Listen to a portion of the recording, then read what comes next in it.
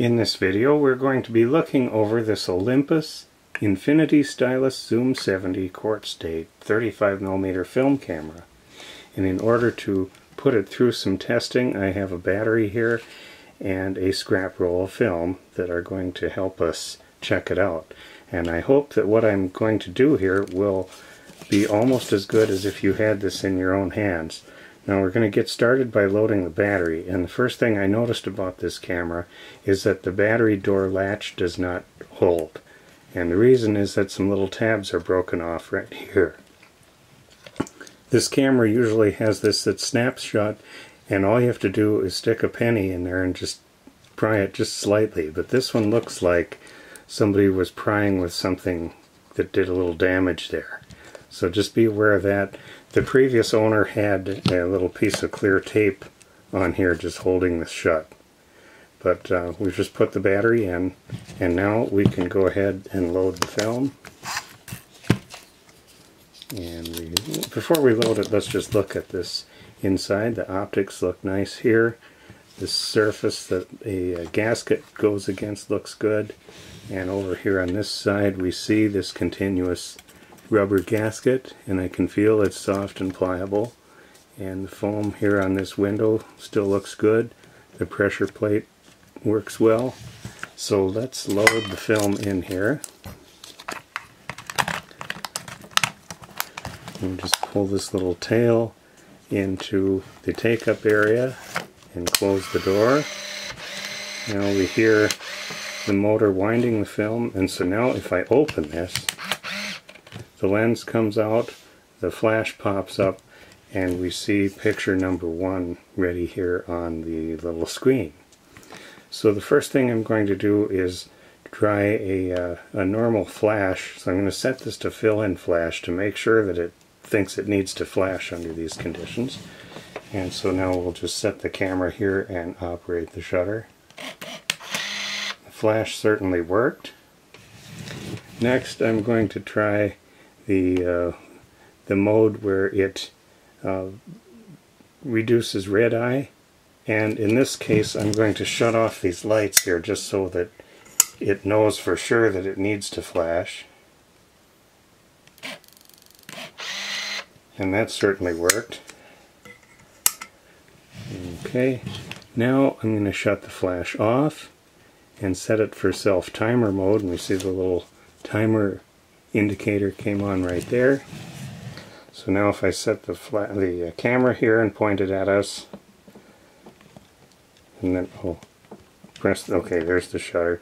And now there's the little red light, and now we can watch it complete the cycle.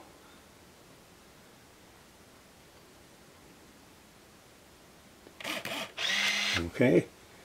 Then we should check and make sure that the zoom is working properly and we can see that the power zoom runs this out from a 35 millimeter lens to a 70 millimeter lens and back and I verified that the uh, optical uh, viewfinder zooms with the lens just fine.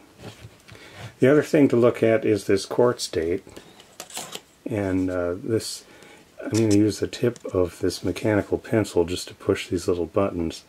Now, by default, when you put in a new battery, it comes up to January 1st, 1989.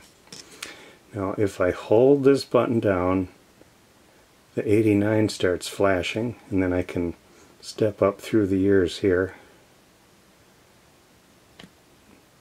But unfortunately, what I discovered was after you get here to the year 2020 and you want to go farther than that, it reverts back to 1989.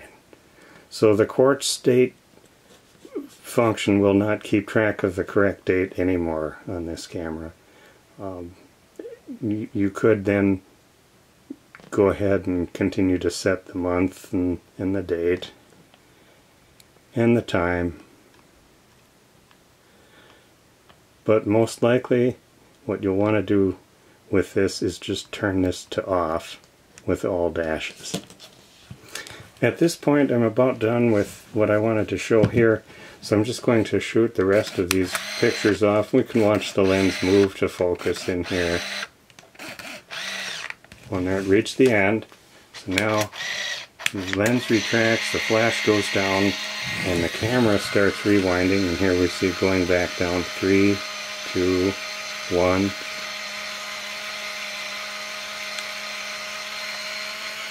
And there we know for sure it's broken free. The flashing E means it's safe to open the back and take out our film which is all wound back into the cartridge. Um, the door, film door latches nicely and uh, everything about the camera seems just fine. There's a little bit of cosmetic wear.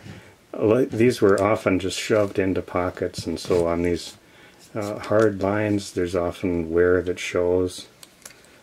It's not in too bad a shape except this uh, battery door latch is broken so just be aware of that.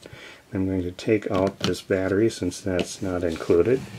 It does come with this Olympus strap and uh, that's in good shape.